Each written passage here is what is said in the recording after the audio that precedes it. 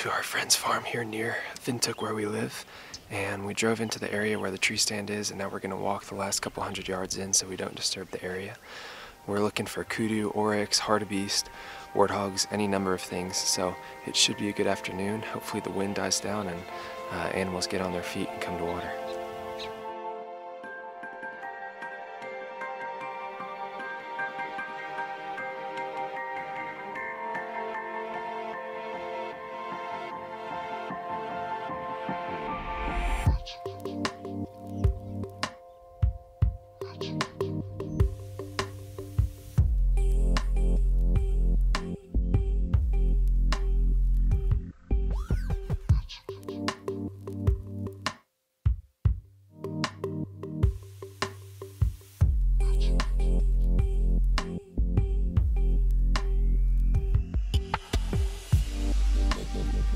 I can't believe it. Uh, we had a really slow day. Didn't see a lot. We had a group of kudu cows come in with no bull and another group of uh, small warthogs, but not really a good shot. And right now, last light, when I was thinking everything was done, I had this oryx cow coming right in. Everything was perfect, perfect. And suddenly she spooked, and we found out the wind in the last 10 minutes of shooting light has turned around completely. And she smelled us and uh, busted out of here, so I can't really believe it. The wind's been strong in our face all afternoon, and right when it counts is when it uh, turned around like that. So that's hunting, I guess, but we'll come back tomorrow or the day after that and see if we can get it done.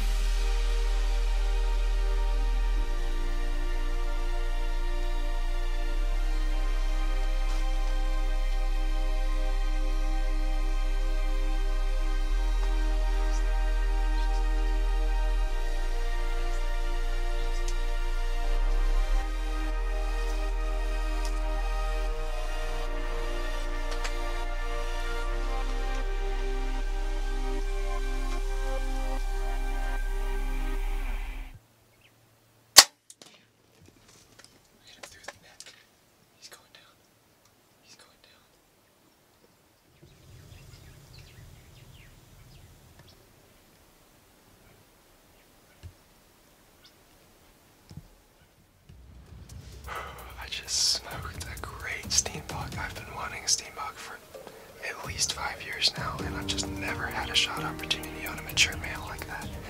And he was about 31, 32 yards, which is really far in an animal that size. And I had to kind of lean out to get an angle on him. Uh, probably the hardest shot I've ever taken in my life, but I hit him a little forward, actually hit him in the neck. Um, he also string jumped pretty bad, but he only went like 15 yards and went down. I am so pumped. Some people don't get the small stuff and get why we get so excited about that, but that's a hard trophy to get, and it's just really exciting to me.